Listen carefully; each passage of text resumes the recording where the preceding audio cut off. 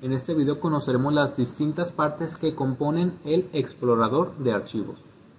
Cuando abramos una ventana del explorador de archivos, encontraremos una ventana similar a esta.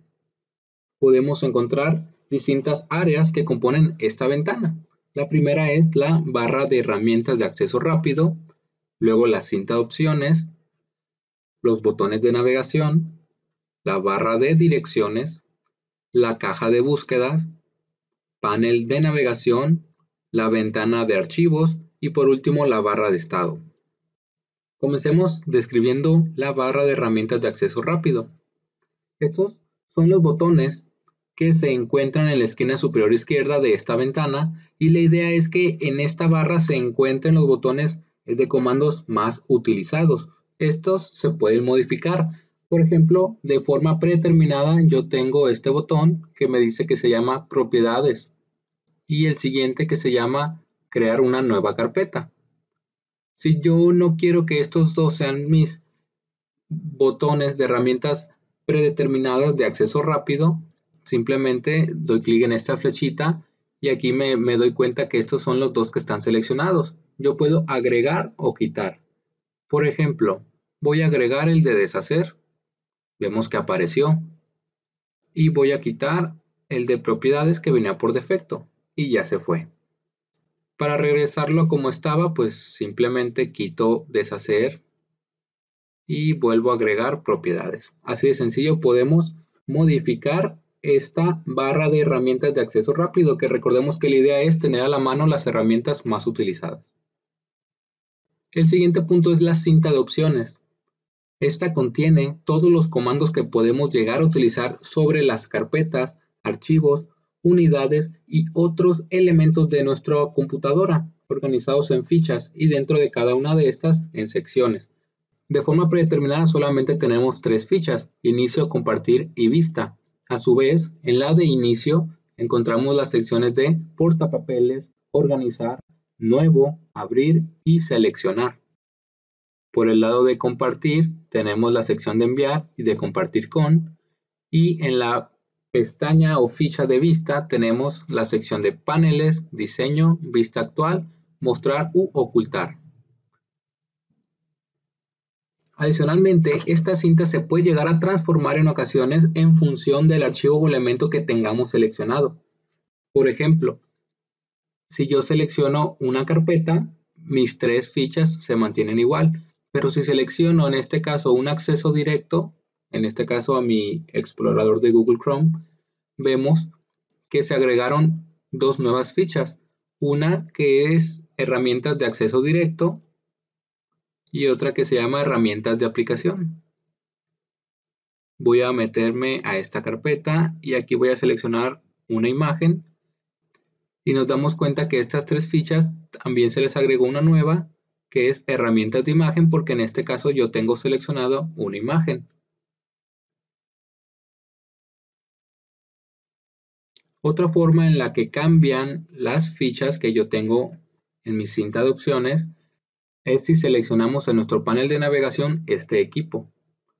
Aquí nos damos cuenta que cambia a PC y vista.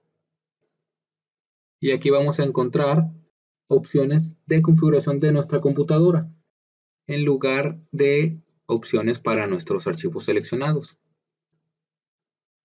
Ahora bien, si a nosotros se nos hace que el área para ver nuestros archivos es muy pequeña y queremos ocultar nuestra cinta de opciones, solamente tenemos que hacer clic en la flecha que se llama minimizar la cinta de opciones a un lado del botón de ayuda. Si le damos un clic, esta cinta se esconde y para verla solamente tenemos que dar un clic. De esta forma, al dar clic en otro lugar, se vuelve a esconder. Depende de cada quien mostrar o ocultar estas cintas de opciones. El siguiente punto son los botones de navegación. Estos, que son estos de aquí, permiten ir hacia atrás, hacia adelante y a la carpeta de nivel superior.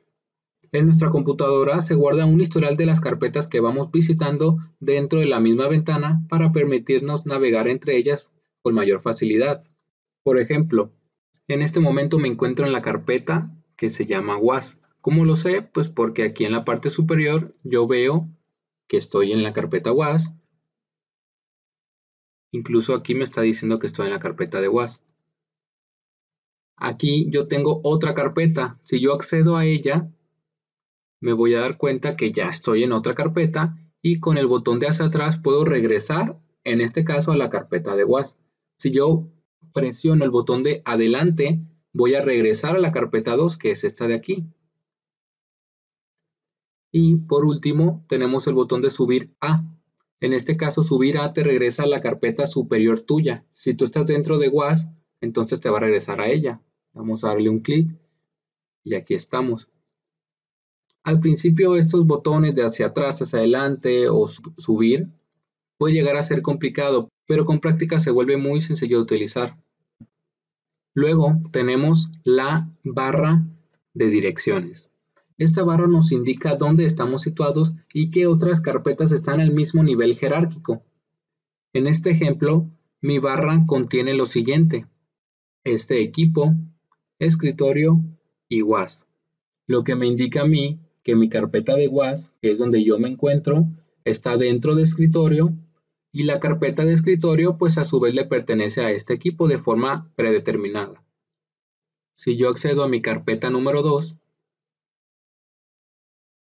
mi barra de direcciones cambia y ahora me dice que yo me encuentro en la carpeta 2, que a su vez está en la carpeta WAS, que a su vez en escritorio y a su vez en equipo. De forma automática se va cambiando. Podemos navegar directamente en la barra de direcciones. Por ejemplo, yo voy a hacer clic en escritorio y se me muestran los elementos que tengo en mi escritorio. Voy a regresar a la carpeta de WAS y ahora voy a ingresar nuevamente a la carpeta 2, pero lo voy a hacer directamente sobre mi barra de direcciones. Si nosotros damos un clic en la barra, nos vamos a dar cuenta que la vista va a cambiar. Ya no me dice equipo, escritorio, WAS. Ahora me dice la dirección real de la carpeta. Con dirección real nos referimos a en qué parte, en qué dispositivo de almacenamiento se encuentra guardado realmente. Ok, entonces me posiciono aquí, nos damos cuenta que las carpetas se van dividiendo con diagonales invertidas. Vamos a escribir directamente carpeta 2, separándolo con una diagonal invertida. Para obtener este símbolo, en el caso de mi computadora se hace con Alt más Control más apóstrofe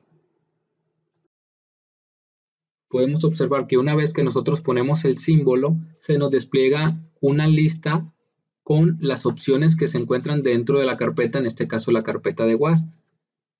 Como yo quería ir a la carpeta 2, pues simplemente le voy a dar clic. Da lo mismo si lo escribo le doy clic y ya estoy directamente en la carpeta 2, que está dentro de WAS, utilizando la barra de direcciones. Muy bien, vamos a dejarlo hasta aquí y en el siguiente video continuaremos con las partes que hacen falta. Hasta pronto.